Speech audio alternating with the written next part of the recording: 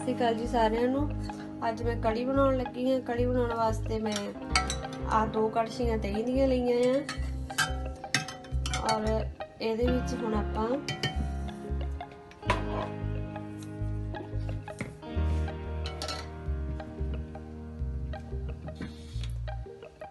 ਇੱਕ ਕੜਛੀ ਆਹ ਵਾਲੀ ਬੇਸਨ ਦੀ ਲਵਾਂਗੇ।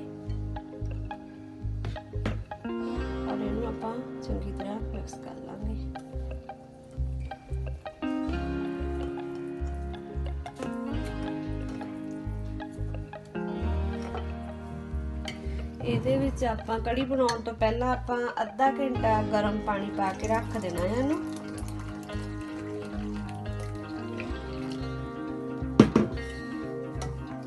ਇਹਦੇ ਵਿੱਚ ਜਿੱਦਾਂ ਦਹੀਂ ਆ, ਸਾਰਾ ਐਨ ਖੱਟਾ ਹੋ ਜਾਣਾ ਵਾ ਤੇ ਫਿਰ ਕੜੀ ਖੱਟੇ ਦਹੀਂ ਦੀ ਸਵਾਦ ਲੱਗਦੀ ਆ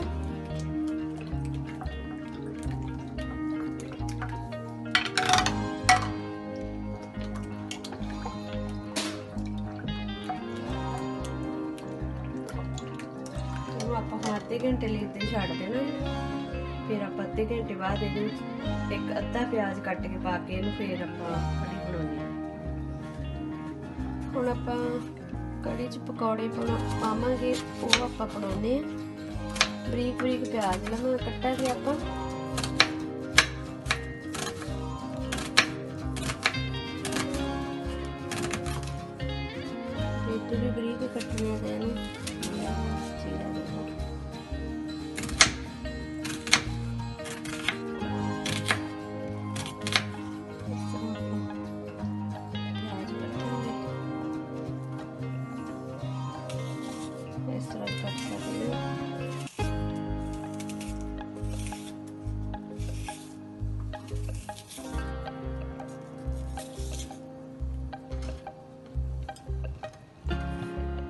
ਛਿੱਲ ਕੇ ਧੋ ਲਏ ਆ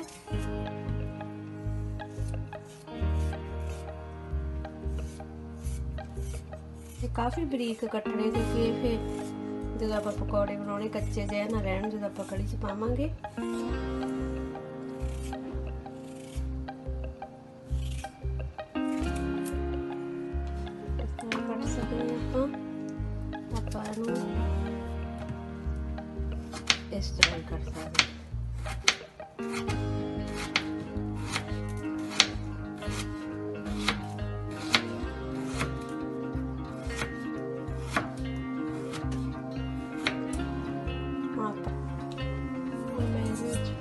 ਪਾ ਲਿਆ ਪਿਆਜ਼ ਪਾ ਲਿਆ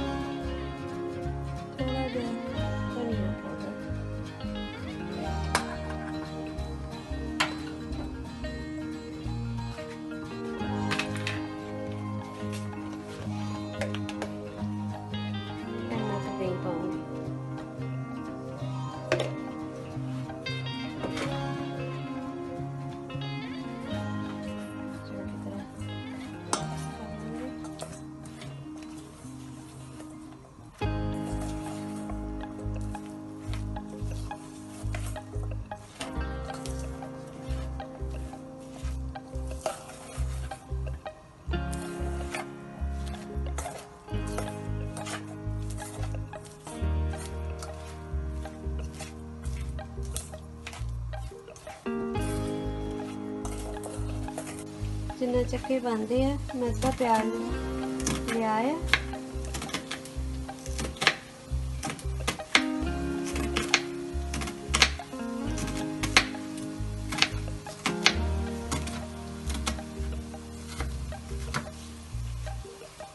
ਇਹਨੂੰ ਹੁਣ ਆਪਾਂ ਜਿਹੜਾ ਪਿਆਜ਼ ਕੱਟਿਆ ਆ,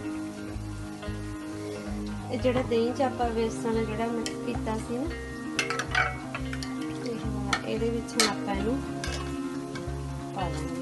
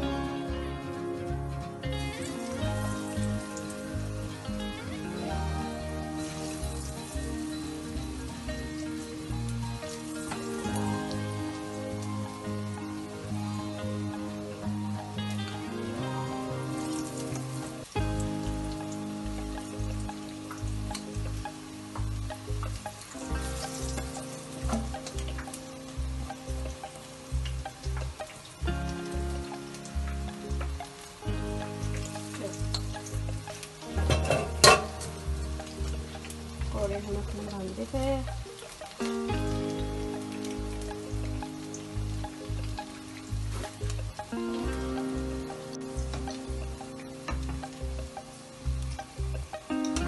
ਦੇਸੀ ਤਰੀਕੇ ਨਾਲ ਜ਼ਿਆਦਾ ਚੀਜ਼ ਵਧੀਆ ਬਣਦੀ ਹੈ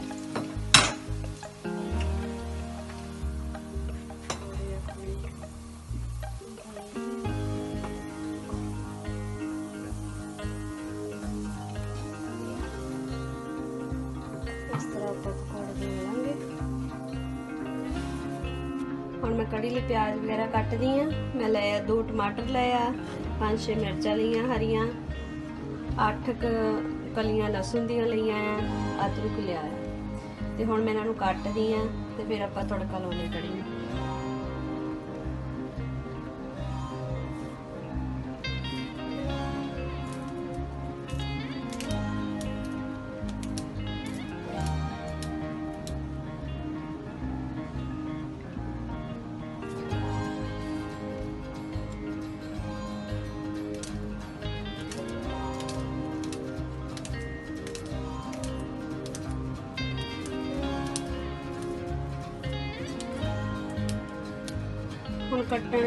ਲਈ ਜਿਹਾ ਵੀ ਲਿਆਂਦਾ ਆ, ਪਰ ਮੇਰਾ ਉਹ ਹੀ ਤਰੀਕਾ ਕਿ ਹੱਥ ਨਾਲ ਹੀ ਮੈਨੂੰ ਵਧੀਆ ਲੱਗਦਾ ਕੰਮ ਕਰਨਾ।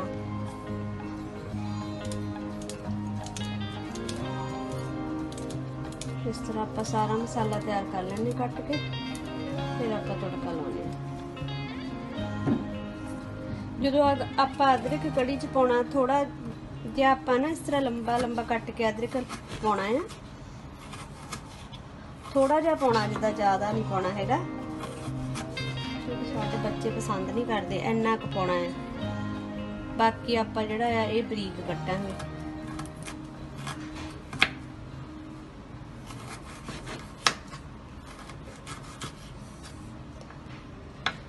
ਅਦਰਕ ਹੁਣ ਕੱਟ ਲਿਆ ਆ। ਇਹਨੂੰ ਜਦੋਂ ਜ਼ਿਆਦਾ ਬਰੀਕ ਕਰਨਾ, ਜਿੱਦਾਂ ਕਰਦੇ ਆ, ਇਹਨੂੰ ਆਪਾਂ ਇਸ ਤਰ੍ਹਾਂ ਇਦਾਂ ਕਰਾਂਗੇ ਨਾ, ਇਹ ਸਾਰਾ ਐਨ ਬਰੀਕ ਹੋ ਜਾਣਾ ਆ। ਬਿਲਕੁਲ ਬਰੀਕ ਹੋ ਜਾਂਦਾ, ਦੇਸੀ ਜਿਹਾ ਤਰੀਕਾ ਹੈ ਇਹ, ਅਦਰਕ ਨੂੰ ਬਰੀਕ ਕਰਨ ਦਾ। ਜ਼ਿਆਦਾ ਬਰੀਕ ਕਰਨਾ ਫਿਰ ਕੱਦੂਕਸ ਤੇ ਗ੍ਰਾਈਂਡ ਤਾਂ ਹੈਗਾ ਹੀ ਹੈ ਆਪਾਂ ਹੁਣ ਕੜੀ ਨੂੰ ਤੜਕਾ ਲਾਉਣਾ ਸ਼ੁਰੂ ਕਰਦੇ ਹਾਂ, ਇਹਨੂੰ ਆਪਾਂ ਸਰੋਂ ਦੇ ਤੇਲ 'ਚ ਬਣਾਵਾਂਗੇ।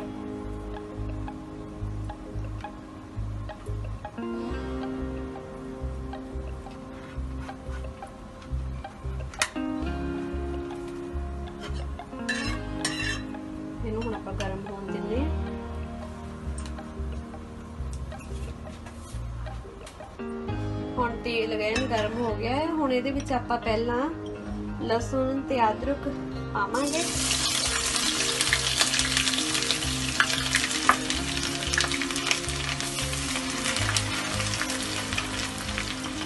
ਦੋ ਕੁ ਮਿੰਟ ਇਹਨੂੰ ਆਪਾਂ ਫਰਾਈ ਹੋਣ ਦਿੰਦੇ ਹਾਂ। ਕਿਉਂਕਿ ਉਸ ਤੋਂ ਬਾਅਦ ਵਿੱਚ ਮੈਂ ਜੀਰਾ ਤੇ ਲਾਲ ਮਿਰਚ ਹੀ ਪਾਉਣੀ ਹੈ, ਕਿਉਂਕਿ ਤੁਸੀਂ ਇਹਦੇ ਵਿੱਚ ਕਾਲੀ ਮਿਰਚ, ਸਾਬਤੀ ਔਰ ਧਨੀਆ ਸਾਬਤਾ ਪਾ ਸਕਦੇ ਆ ਕਿਉਂਕਿ ਸਾਡੇ ਬੱਚੇ ਖਾਂਦੇ ਨਹੀਂ ਹੈਗੇ, ਤਾਂ ਇਸ ਕਰਕੇ ਫਿਰ ਮੈਂ ਉਹ ਪਾਉਣਾ ਨਹੀਂ ਹੈਗਾ।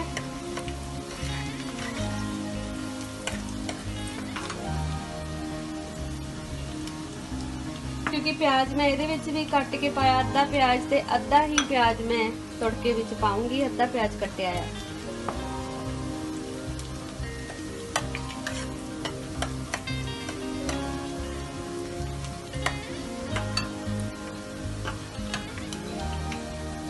ਤੇ ਹੁਣ ਇਹ ਆਪਾਂ ਪਾ ਦਿੰਨੇ ਆ ਜੀਰਾ ਤੇ ਲਾਲ ਮਿਰਚ।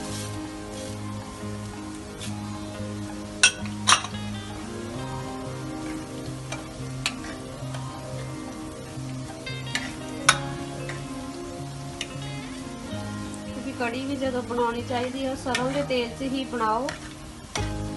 ਤੇ ਬਹੁਤ ਹੀ ਵਧੀਆ ਫਿਰ ਬਣਦੀ ਹੈ ਕਿਉਂਕਿ ਮੇਰਾ ਸਿੰਪਲ ਜਿਹਾ ਤਰੀਕਾ ਹੈ ਜ਼ਿਆਦਾ। ਨਹੀਂ ਹੈਗਾ। ਕਿਉਂਕਿ ਇਹਦੇ ਵਿੱਚ ਆਪਾਂ ਹਲਕਾ ਜਿਹਾ ਬਰਾਊਨ ਲਸਣ ਕਰਾਂਗੇ। ਅਦਰਕ ਮੈਂ ਇਹਦੇ ਨਾਲ ਤਾਂ ਪਹਿਲਾਂ ਫਰਾਈ ਕਰ ਲੈਣੀ ਆ ਉਹ ਫਿਰ ਕੱਚਾ ਜਿਹਾ ਨਹੀਂ ਰਹਿੰਦਾ। ਕਈਆਂ ਨੂੰ ਤਾਂ ਕੱਚਾ ਪਸੰਦ ਆ, ਕਈਆਂ ਨੂੰ ਇਸ ਤਰ੍ਹਾਂ ਪਸੰਦ ਆ। ਹੁਣ ਆਪਾਂ ਪਿਆਜ਼ ਪਾ ਦਿੰਦੇ ਹਾਂ।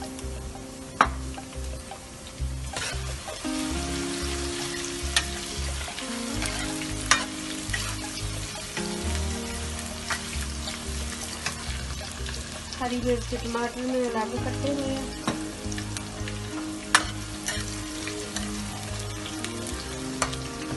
ਹੁਣ ਆਪਾਂ ਪਿਆਜ਼ ਫਰਾਈ ਹੋਣ ਦਿੰਦੇ ਆ ਪਿਆਜ਼ ਆਪਣੇ ਭੁੱਜ ਚਲੇ ਆ ਹੁਣ ਤੇ ਆਪਾਂ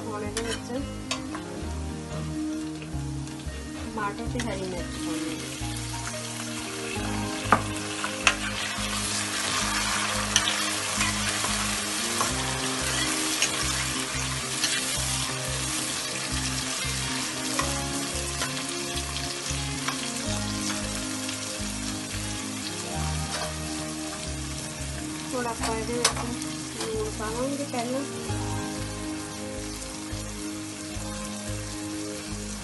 ਸਵਾਦ ਅਨੁਸਾਰ।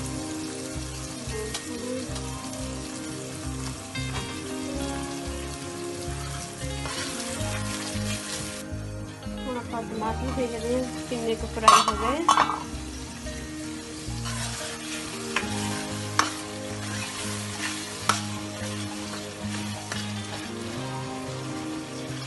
ਕਿਉਂਕਿ ਕੜੀ ਦੇ ਵਿੱਚ ਜਦੋਂ ਆਪਾਂ ਕੜੀ ਬਣਾਉਣੀ ਆ, ਤੇਲ ਜਾਂ ਕਿ ਜੋ ਵੀ ਹੈਗਾ ਵੈਸੇ ਸਰੋਂ ਦਾ ਤੇਲ ਹੀ ਪਾਉਣਾ ਚਾਹੀਦਾ।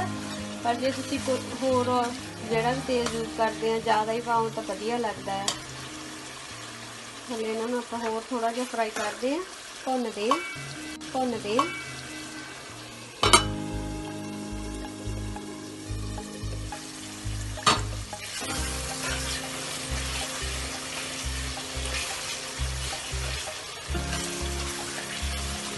ਆ ਆਪਣੇ ਟਮਾਟਰ हैं और मिक्स हो गए प्याज टमाटर अदरक लहसुन सारा ਹੁਣ ਆਪਾਂ ਇਹ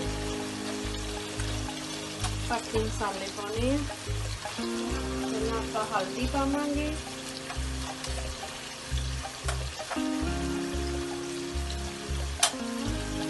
ਫਿਰ ਧਨੀਆ ਪਾਊਡਰ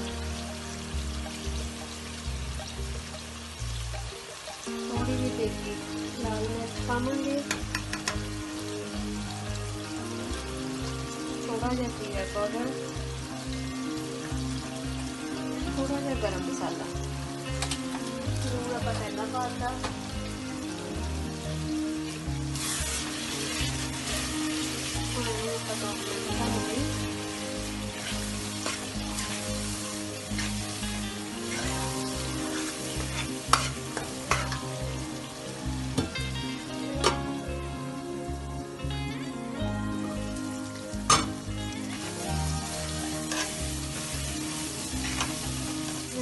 ਹੁਣ ਇਹਨੂੰ ਆਪਾਂ ਦੋ ਮਿੰਟ ਭੁੰਨਾਂਗੇ ਐਨ ਵਧੀਆ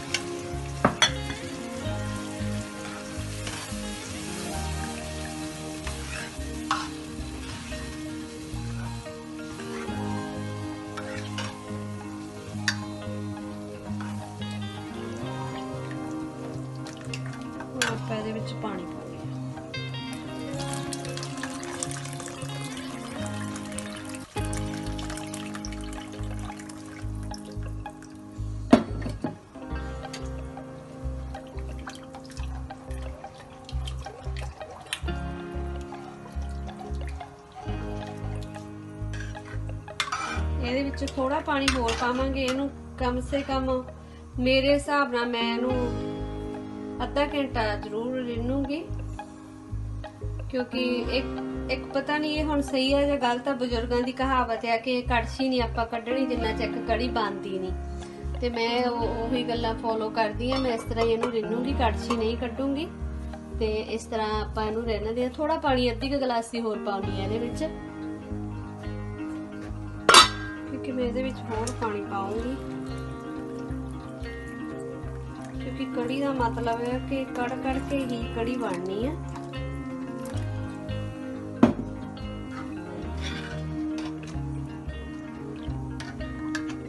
ਇਹਨੂੰ ਹੁਣ ਅੱਧਾ ਘੰਟਾ ਇਸ ਤਰ੍ਹਾਂ ਆਪਾਂ ਰਹਿਣਾਗੇ ਕੜਛੀ ਨਹੀਂ ਮੈਂ ਰੱਖੂੰਗੀ, ਇਸ ਤਰ੍ਹਾਂ ਹੀ ਰੱਖੂੰਗੀ, ਬਾਕੀ ਤੁਹਾਡੀ ਆਪਣੀ ਮਰਜ਼ੀ ਹੈ। ਕਿ ਬਜ਼ੁਰਗਾਂ ਦੀਆਂ ਕੁਝ ਗੱਲਾਂ ਕਹੀਆਂ ਸਹੀ ਹੁੰਦੀਆਂ ਆ ਹੁਣ ਆਪਾਂ ਇਹਨੂੰ ਬਣਾਉਂਦੇ ਆ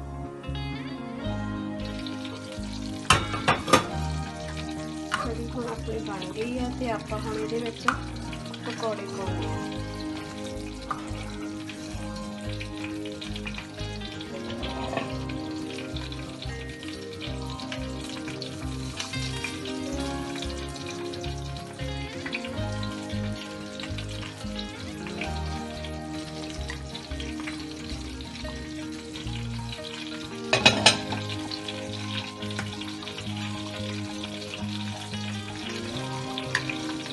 ਹੁਣ ਇਹਦੇ ਵਿੱਚ ਮੈਂ ਥੋੜਾ ਜਿਹਾ ਬਟਰ ਗਰਮ ਕੀਤਾ ਹੈ ਤੇ ਉਹਦੇ ਵਿੱਚ ਆਪਾਂ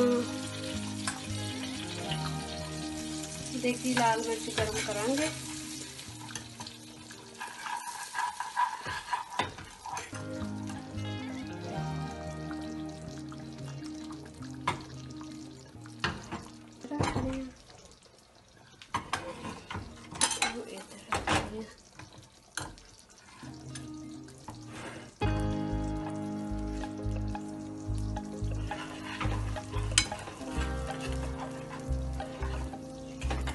ਆਪਾਂ ਇਸ ਤਰ੍ਹਾਂ ਗਰਮ ਕਰਨਾ ਚੰਗੀ ਤਰ੍ਹਾਂ